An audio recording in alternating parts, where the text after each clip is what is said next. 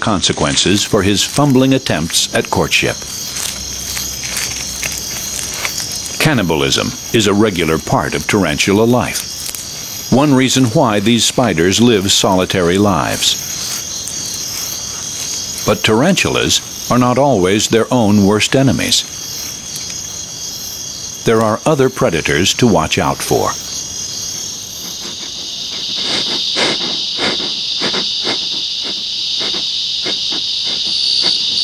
Like the coati.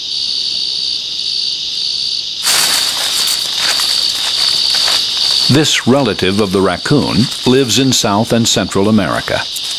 It uses its long, flexible snout to root for grubs and other edibles. It's found what it's looking for. What's needed now are tactics. The scraping and scratching panics the inhabitant and drives it outside. But the veteran hunter refrains from striking it immediately. The prey is instead chased until it tires. The coati cautiously paws at the spider, hoping to avoid its painful fangs.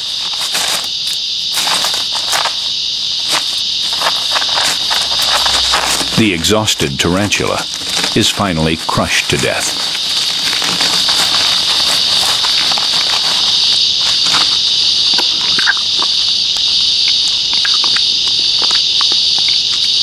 For the coati, the eight-legged prey is a delicacy.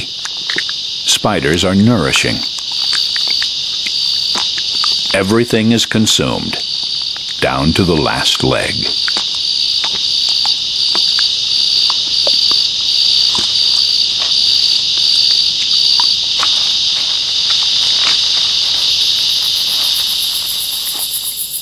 Despite the odds, the enemies, the inhospitable environment, tarantulas still manage to thrive in the desert.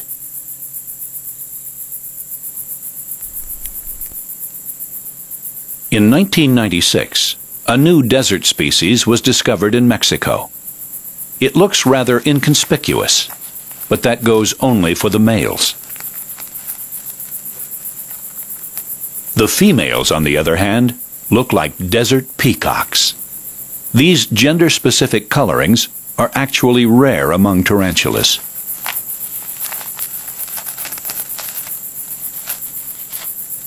Like all male spiders, the main goal of this one is to lure the female from her burrow to mate.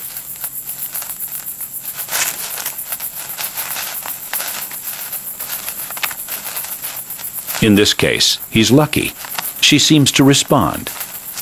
After gingerly securing her fangs, he drums the underside of her abdomen.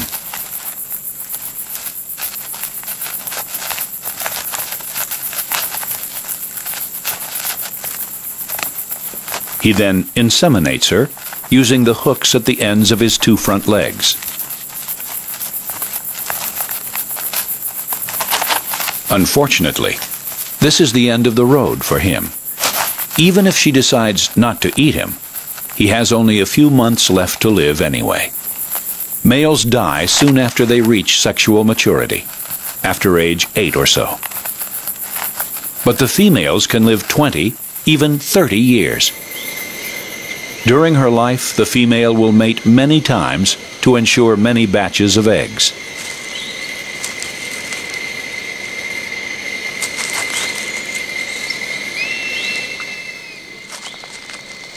Several weeks to months after mating, she begins to lay her eggs.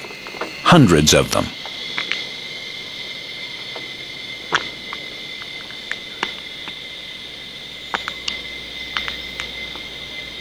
They land softly on a bed of silk that she's made. As she presses out the eggs, she also releases the male's sperm, which she had kept stored in special organs. Only now are the eggs finally fertilized. Immediately after the eggs are laid, the tarantula lines the entire nursery with protective silk.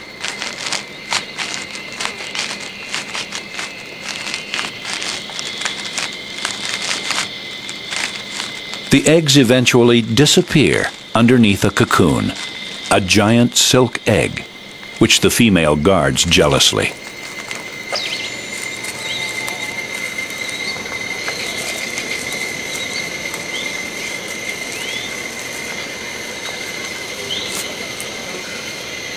On occasion, the expectant mother will leave her burrow for a short time.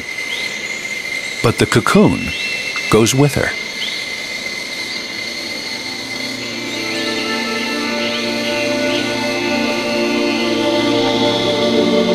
After about six weeks, the eggs have developed substantially.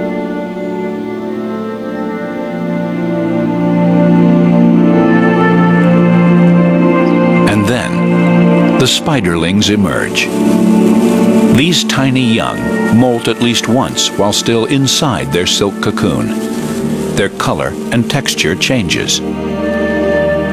Then they break out of their shell, fully developed, but still small even smaller than a housefly. Young tarantulas are left to their own devices from the first moments of their lives. Although they do stay in their mother's vicinity for a few hours, they can no longer expect her to care for them. And indeed, if they hang around too long, she'll probably eat them. Eventually, the newly spawned colony will break up, with each animal going its own way but it's a perilous journey to adulthood. Enemies are everywhere. And many of these young spiders won't make it.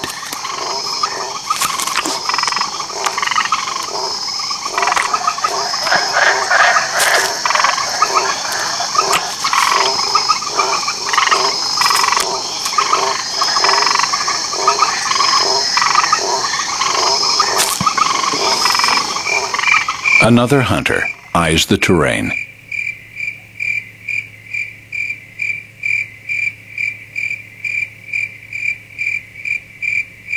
The chameleon.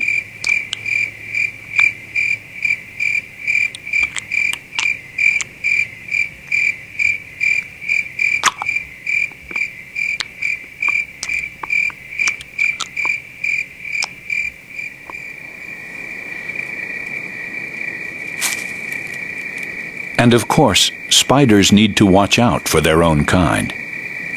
This one builds a trap door on top of its burrow. Then it lies in wait, picking up the most sensitive vibrations from above.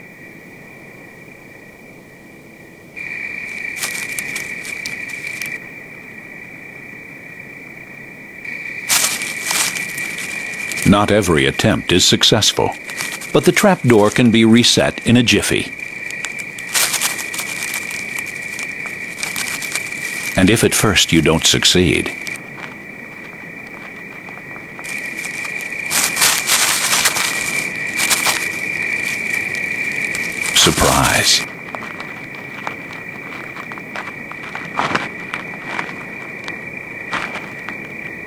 For those that survive, they'll take their place in the natural order and play an important role in controlling the insect population. Meanwhile, they'll leave us alone, so why not return the favor? Why not follow the old adage, if you wish to live and thrive, let a spider run alive. 接下来， 重回四百年前的一场血腥大屠杀，寻找一个消失的神秘部落。中国玄关之谜，接着播出。